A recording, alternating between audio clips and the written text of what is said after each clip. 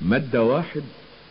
يعين القمص مينا البراموسي بابا الإسكندرية وبطريركا للكرازة المرقصية.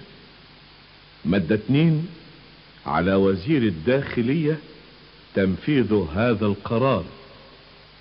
صدر برئاسة الجمهورية في 15 شوال سنة 1378 الموافق 23 إبريل سنة 1959 جمال عبد الناصر رئيس الجمهورية.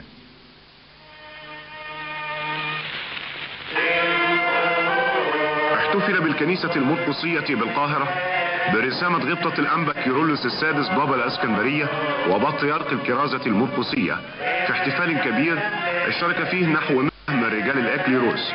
منهم جميع المطارنة والأساقفة. وقد خرج موكب البطريرك الجديد من القصر البطريركي إلى الكنيسة التي كان بابها مغلقا حسب التقاليد ليفتحه البطريرك بقوله افتحوا لي أبواب البر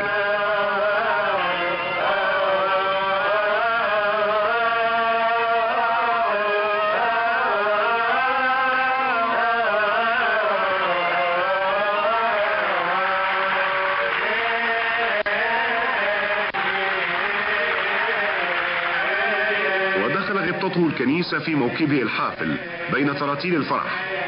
ووقف البطريرك أمام الهيكل وخرج المطارنة والأساقفة لرسامته.